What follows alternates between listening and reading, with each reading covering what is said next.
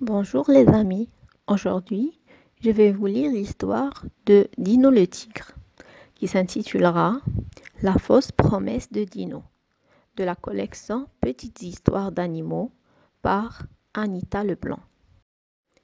Dino était un jeune tigre arrogant qui n'avait peur de rien, pas même des chasseurs. Un jour, après une très longue marche en forêt, il décida de se reposer sur un gros tas de feuilles qui lui semblaient fort confortables. Malheureusement, c'était un piège. Il tomba donc au fond d'un trou dont les parois très lisses ne lui laissaient aucun espoir de pouvoir remonter à la surface. Comment faire? se demanda-t-il.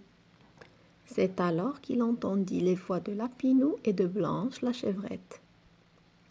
Aussitôt, il se mit à hurler. Au secours Au secours Aidez-moi à sortir de là Le petit lapin et la chevrette s'approchèrent immédiatement du trou. En prenant grand soin de ne pas trop s'approcher du bord, de peur d'y tomber également. Lorsqu'ils virent Dino le tigre, ils refusèrent de l'aider, expliquant qu'il y avait de fortes chances pour qu'il les dévore une fois libéré. Puis ils partirent, laissant Dino à son triste sort. Quelques minutes plus tard, ce fut au tour de Tic, la souris, de passer à côté du trou. Intriguée par les bruits sourds qui en prevenaient, elle s'en approcha et découvrit Dino qui tournait en rond. Prise de pitié, Tic proposa de l'aider à l'unique condition qu'il jure de ne pas chercher à la dévorer lorsqu'il serait libéré. Je te le jure, Tic. Mais comment comptes-tu t'y prendre pour me libérer? Tu es si petite. Sois patient. Je vais grimper en haut de cet arbre et ranger l'une de ses branches. Lorsqu'elle tombera dans le trou, tu pourras t'y agripper et te libérer. Excellente idée. Tic mit donc son plan à exécution. Elle grimpa à l'arbre, rangea l'une de ses branches qui, comme prévu, tomba dans le trou.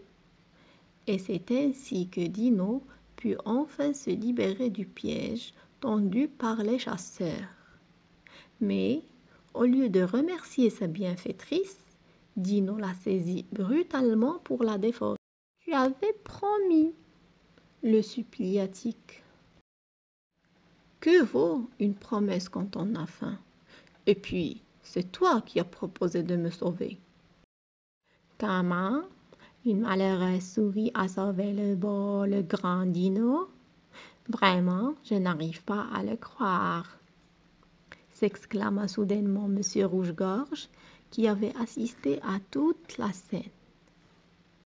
C'est pourtant vrai, répondit Dino. Tu mens. Une souris ne peut ranger une telle branche, et quand bien même l'y serait parvenue, il est impossible que la branche résiste à ton poids. Je ne mens pas, vociféra Dino. Regarde. Et aussitôt, la chantique, Dino se jeta dans le trou pour montrer à Monsieur Rouge-Gorge comment il s'y était pris pour remonter.